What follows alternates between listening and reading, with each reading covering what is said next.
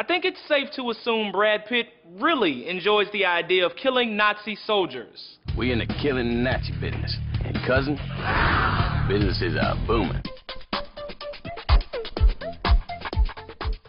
I had the best gunner in the entire Ninth Army in that seat. Now I got you. Pitt's Fury takes the top spot at the box office this weekend, bringing in an estimated $23.5 million and keeping 9 out of 10 moviegoers on the edge of their seat. And while critics seem to be split over how well or not so well the characters are fleshed out, no one doubts Fury's authentic visuals and the authentic message that war is hell.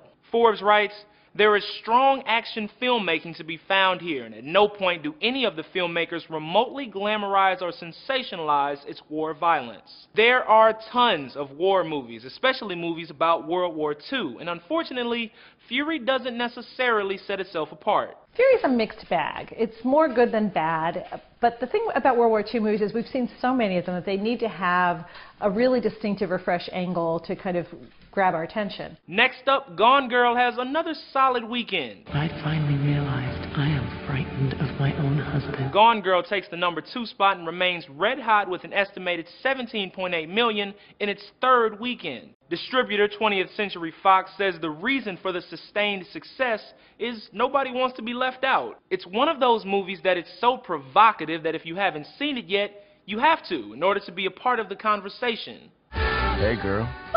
Oh.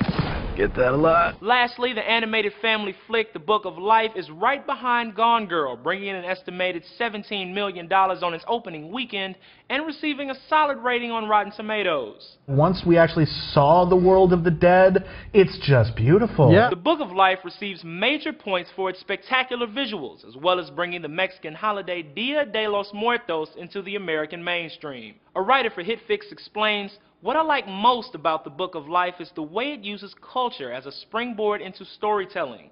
That tradition is what the film celebrates. As for next week, Keanu Reeves makes his bid for the surprisingly competitive Old Action Star Award. People keep asking if I'm back.